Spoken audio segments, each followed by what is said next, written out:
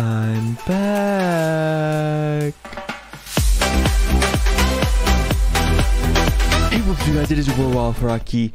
Pacific Division here is very, very tight. What is it going to look like when the NHL season starts? There's a lot of good teams in this division. This division has been getting better in recent history. We'll see if they produce this year or not.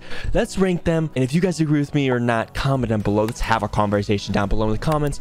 Make sure to leave a like and subscribe, guys. Let's do this. All right, guys, here are the eight teams. We all know them Ducks, Kings, Flames, Vancouver Canucks, Oilers, Sharks, Kraken, and the Stanley Cup champions, Vegas Golden Knights. All right, guys, let's rank them. We all know seven and eight, guys. We all know how bad these teams are. This might be the worst team in the NHL this season. I'm going to say the San Jose Sharks are number eight, guys. They just traded the best player away. Erik Karlsson obviously went to the Penguins. So, Sharks, they're just not good, man. They're really not good. They have a couple good prospects. They have Kahkonen in the net. Maybe he can step it up.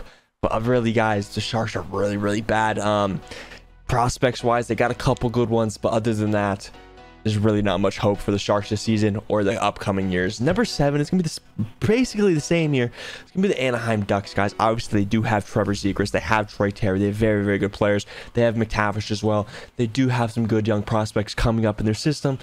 But other than that, guys, who else do they have? Yes, they got Alex Killorn, who will be a good veteran presence for this team.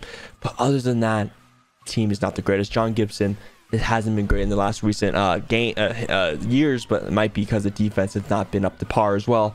But Ducks, they have a bright, they have a brighter future than the Sharks do, but still not the best I've ever seen. Number six here.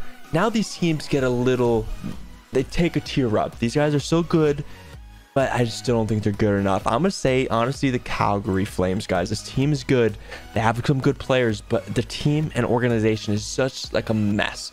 A lot of the players don't want to be there. Lindholm wants to leave. Noah Hanifin wants to leave, and also uh, Backlund does as well. Obviously, Backlund isn't the greatest anymore, but Noah Hanifin and Lindholm are very, very good players. Obviously, they're still on the team right now.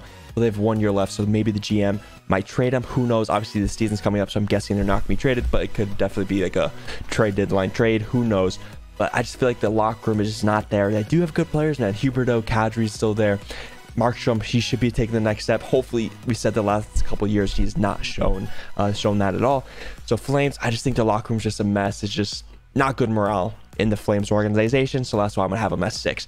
Number five here is honestly gonna be the Vancouver Canucks. I like this roster. I say this every single time I talk about the Canucks. I like this roster. They just need to buy in together. They need JT Miller to play some defense. They need Pettersson to keep. They need Pettersson to keep going. They need Boeser to get back to his former self. We need Quinn Hughes to be elite like he is, like we know he is, then you need Demko to stay healthy, guys. If he can stay healthy, this goalie is very, very good. They have a good young team, and Canucks are exciting to watch. They just can't put it together. Full uh, first full year of Rick Tocchet. We'll see how he can do. But I like this team. I think they can do big things. Obviously, it's a tough market to play for, and they expect big things, and I think they might show that uh, to us this year. Number four, guys, is gonna be the Seattle Kraken. I really like this roster, but I feel like they didn't add too much to get better. I still like their team. They have a lot of depth on their team. Like every one of them bought into this team, just like the Knights did. They bought in and they won some games. They made it to the second round last year. Game seven, they could have maybe got to the third round. That would have been absolutely sick if they beat Dallas. But this team is good. They don't have any superstars. The best player is what Jared McCann, who put a 40. Can he recreate that? He probably can. He's a very, very good sniper. But other than that, do they have a superstar on their team like these other teams do? No, they do not. But they have a lot of good second line players, third line players that bought in, and they all can. And honestly, they all can really score, man. They can all score the puck, and they buy into the same system. Very, very good team. So I like that. Hopefully, Grubauer can stay consistent like he was last year. Number three here, guys. These teams are a very good toss up because they're all pretty damn good. But I'm going to say the LA Kings, and the only reason I'm saying them at number three is because the goaltending issue there. They have a really good team on paper besides the goaltending. Cam Talbot and Pheonix Copley is their goaltenders. And yes, Cam Talbot has shown good uh, seasons in the NHL, but last season in Ottawa, yes, he had a couple injuries as well, but he just was not good enough for that team. And that's why the Ottawa Senators did not perform uh, as they should have. But he's a big question mark. Yes, he did good in Minnesota, but he's a big question mark right now. And the Kings, they don't have the best defense in front of him either. Obviously, it's better. It's not horrible defense. Obviously, that's why uh, I think Korpisalo did play so uh, very well last year because the Kings defense actually played pretty damn solid in front of him. So if they could do that, I don't mind this. And if he plays solid and makes the saves he needs to make, I think they can go two to maybe even one in this division, guys. I just think goaltending might be an issue. They got more goal scoring, obviously. Pierre-Luc Dubois, I think he's going to be a huge, huge addition. I think he plays Kings hockey, and hopefully he can stay happy and not ask for a trade three weeks into the season.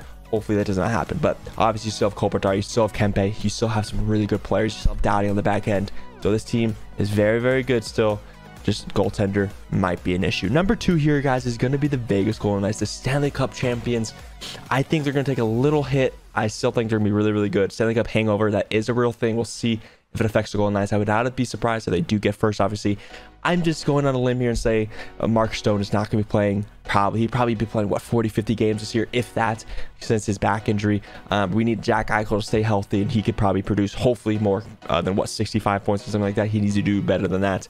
But this team has very, very good depth. Um, goaltending issue might be a thing here. Obviously, Adin Hill very very good playoffs but can he recreate that who knows i will i do honestly think uh, thompson will take over the net and keep that net as long as he can stay healthy but defense obviously still very very good um, so hopefully that can stay intact. But forwards depth, they need to keep doing that, uh, keep that third line, fourth line going.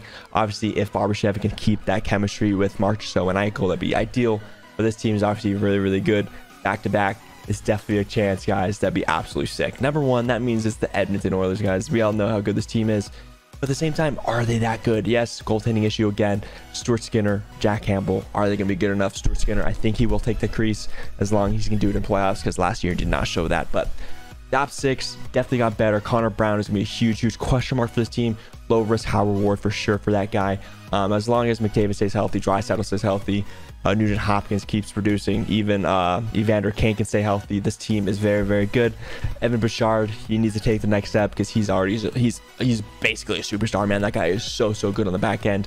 Darnell Nurse, he's he's Darnell Nurse, man. But this team, I think they're built for the really good season if the goalies can stay consistent and everyone stays healthy.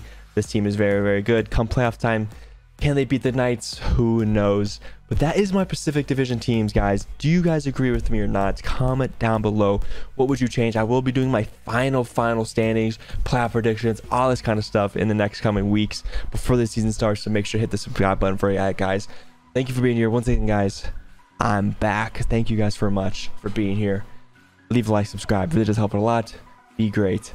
I'll see you guys later.